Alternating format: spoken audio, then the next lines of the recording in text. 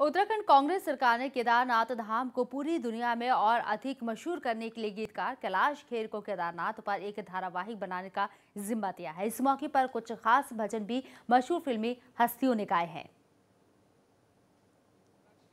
आप केदार धाम पहुँचे हैं और जो अब आप महिमा गाएँगे भगवान की, उसको लेके आपको कैसे ये मौका मिला, क्या इसकी योजना थी, और इसमें कौन बड़े सितारे आपका साथ दे रहे हैं? ये हम लोगों ने एक टीवी सीरियल बनाया है बाबा केदारनाथ नाम का, और इसमें बारह बारह एपिसोड हैं, आठ गाने हैं।